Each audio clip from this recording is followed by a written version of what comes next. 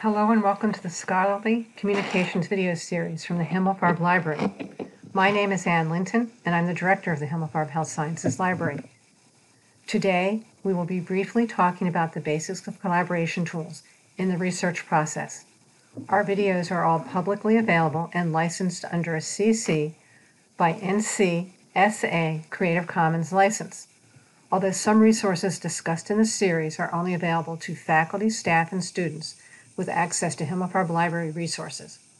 Let's get started.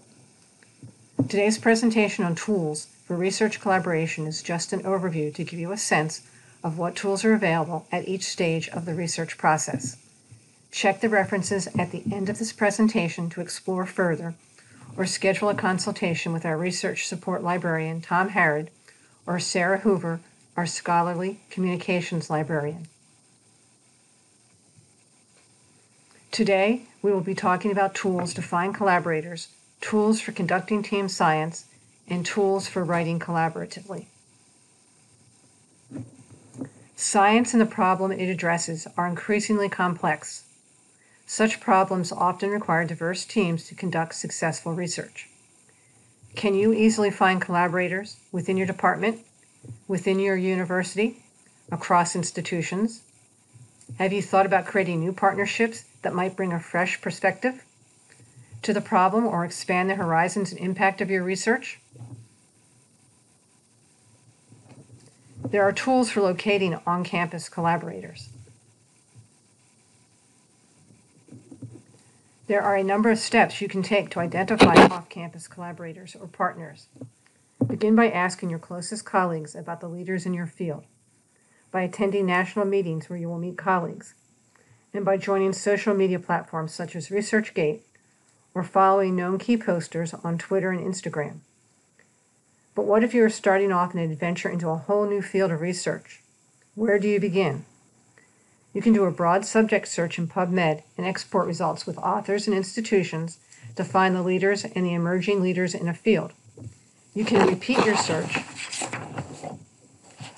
in a database like Scopus, which lets you analyze search results by authors, author affiliations, and topic areas. You can do the same search in a field that is outside of your comfort zone. For instance, if you are exploring obstacles to healthy aging, Try an architecture search after reviewing PubMed. You will probably find some interesting insights into fall prevention and identify individuals with perspectives and expertise that can inform your research. Finally, don't forget to comb the web pages of universities with centers of excellence in your chosen field. Once you've identified colleagues with whom to do research, what platforms will allow you to share data, communicate, and manage projects across distances? There are lots of tools to choose from. Some tools, like the Open Science Framework, encompass the entire research lifecycle. Other tools are designed to cover just one aspect of a research project, such as evaluating articles for systematic reviews.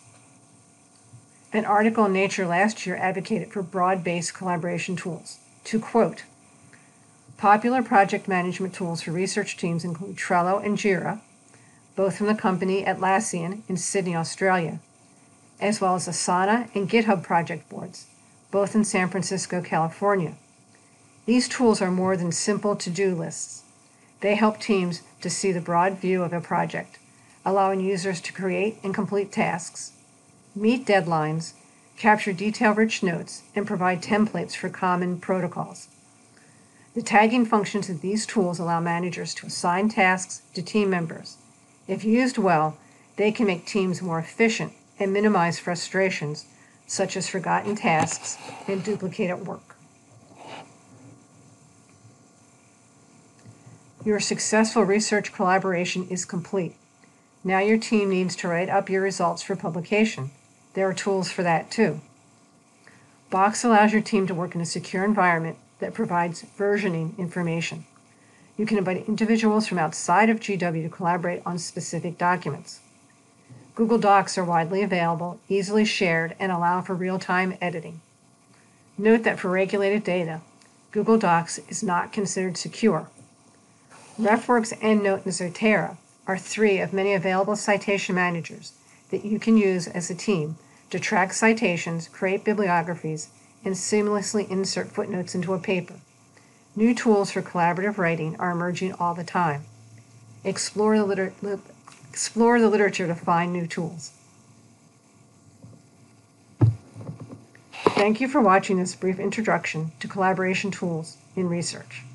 If you would like to follow up with a consultation on these tools, please contact either Tom Harrod, Research Support Librarian, or Sarah Hoover, Scholarly Communications Librarian, at the emails on the screen. Links to most of the tools mentioned in this video are listed on the following slides.